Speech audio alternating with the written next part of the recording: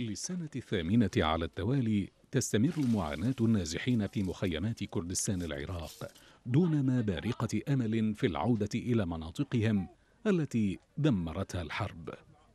أحمد علي ياسين نزح بعائلته سنة 2014 من ناحية يثرب بقضاء بلد في محافظة صلاح الدين ليستقر به الحال في مخيم آشتي بمحافظة السليمانية يعيش أحمد علي مع أسرته البالغ عددها نحو عشرين فردا داخل خيام بدائية بدلا من بيته الذي كان في صلاح الدين.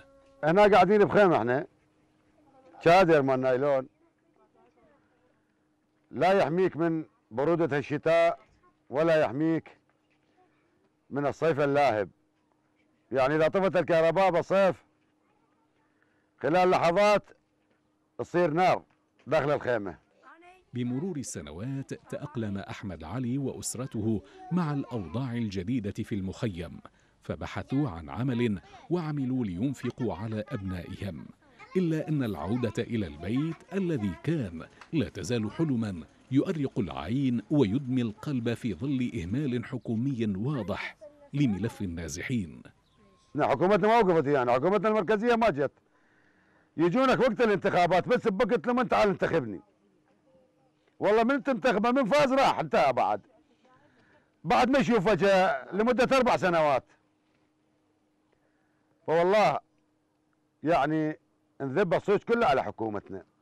وتتوالى السنوات سنة بعد أخرى ويأتي شهر رمضان ويذهب والنازحون في خيمهم يعدون الأيام في انتظار يوم يعودون فيه إلى بيوتهم وأرضهم وحياتهم التي كانت قبل الحرب.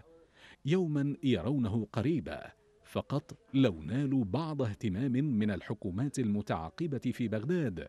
تلك الحكومات التي ينشغل سياسيوها بمصالحهم ولا يعيرون أدنى اهتمام للنازحين ومعاناتهم. المتواصلة.